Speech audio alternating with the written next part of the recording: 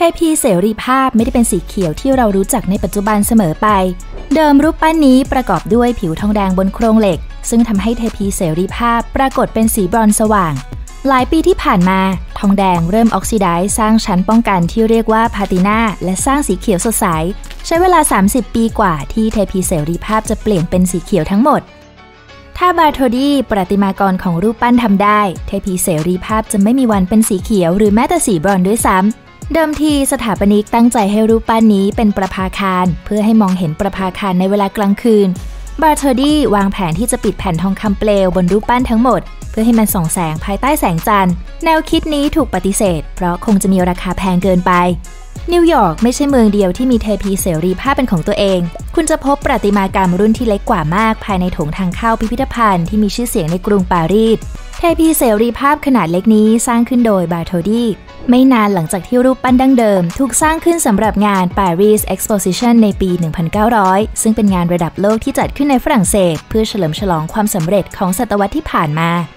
มีทองอยู่ในโลหะที่ใช้ทำคบเพลิง แต่ถ้าสังเกตดีๆ จะเห็นว่ามันไม่ใช่คบเพลิงเดิมที่นำเข้ามาจากฝรั่งเศส ประมาณ 100 ปีหลังจากติดตั้งรูปปั้น ในปี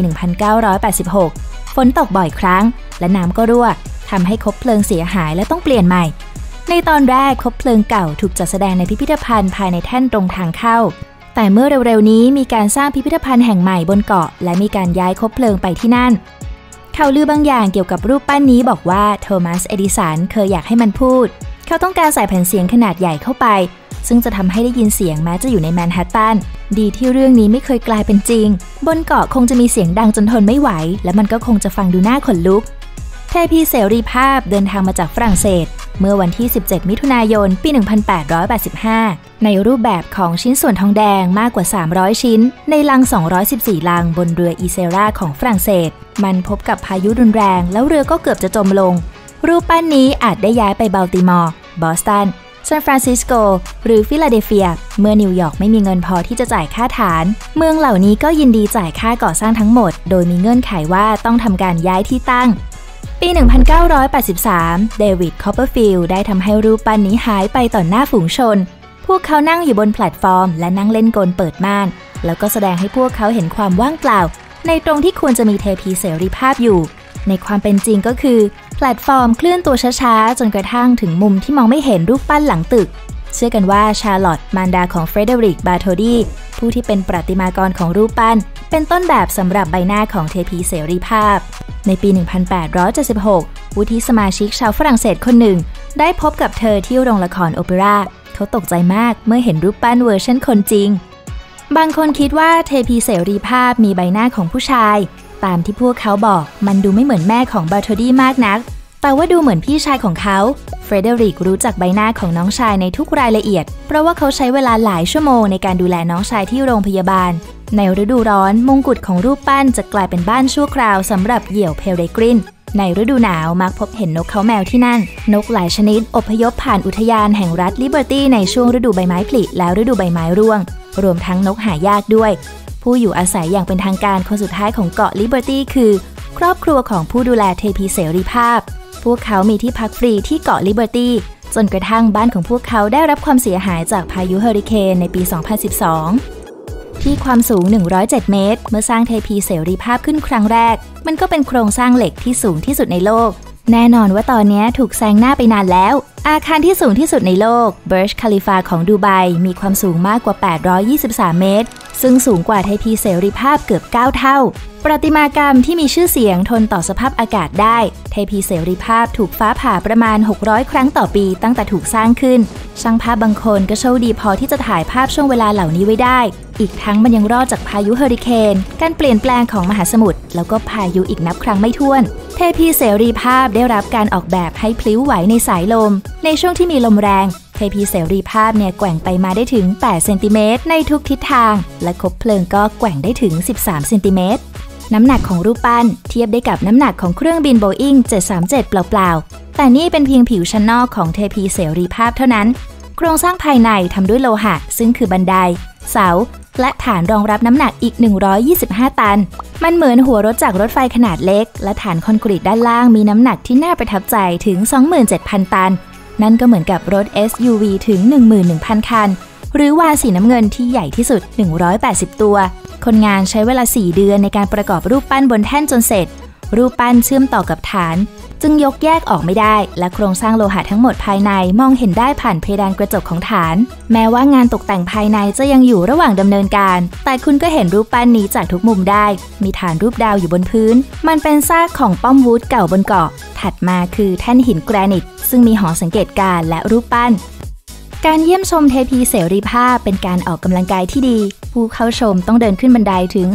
354 ขั้น เพื่อไปยังมงกุฎ ภายในมงกุฎมีหน้าต่าง 25 บาน ซึ่งมีทัศนียภาพอันงดงามตระการตาของมหานครนิวยอร์ก มันยังเล็กกว่าที่คุณคิดอีกด้วย มงกุฎของเทพีเสรีภาพประดับด้วยหนามแหลม 7 อัน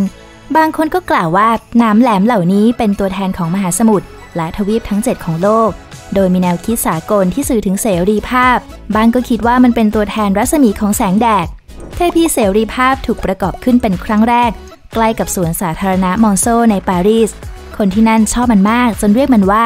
Lady of the Park พวกเขาใช้ค้อนชนิดต่างๆ กว่า 300 ชนิด เพื่อขึ้นรูปทองแดง ซึ่งมีน้ำหนักเท่ากับช้างแอฟริกาให้กลายเป็นรูปปั้น รูปปั้นนี้เสร็จสิ้นเนื่องจากแคมเปญระดมทุนจากฝูงชนครั้งแรกในประวัติศาสตร์ แรกสุด ประติมากรชาวฝรั่งเศสเฟรเดริกโอกุสบาร์โทดีผู้สร้างรูปปั้นได้ระดมทุนในประเทศของเขาเพื่อสร้างรูปปั้นนี้ จากนั้นผู้บริจาคมากกว่า 120,000 รายในสหรัฐอเมริกา ก็ได้ร่วมระดมเงินเป็นค่าฐาน เทพีเสรีภาพได้รับคบเพลิงใหม่พร้อมเปลวเพลิง ระหว่างการปรับปรุงปี 1984 มันทำจากทองแดงและปิดด้วยทองคำเปลว 24K ต้องเปลี่ยนคบเพลิงเดิมเนื่องจากน้ำรั่ว ตอนนี้คุณดูมันได้ที่พิพิธภัณฑ์เทพีเสรีภาพ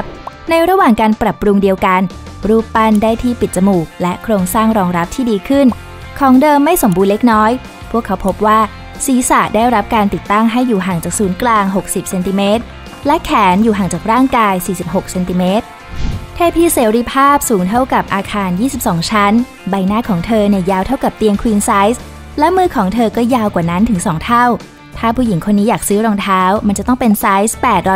879 รอบเอวของเธอยาวเท่ากับรถบัส 2 ชั้น แล้วเธอก็หนักกว่า T-Rex ถึง 5 เท่า แทบเป็นไปไม่ได้เลยที่จะเห็นมันเมื่อคุณไปเยี่ยมชม